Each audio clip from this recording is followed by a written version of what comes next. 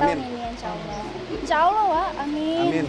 Ya insya Allah eh, kita akan rencanakan nanti proses selanjutnya dengan eh, pernikahan ya. Pernikahan yang tentunya akan kita laksanakan sebaik mungkin lah.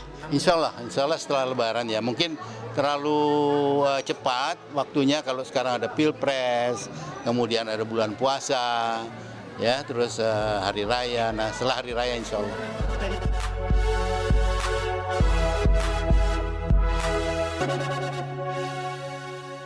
Jadi jangan lupa untuk subscribe Cumi Cumi. Ditekan ya tombol lonceng merahnya.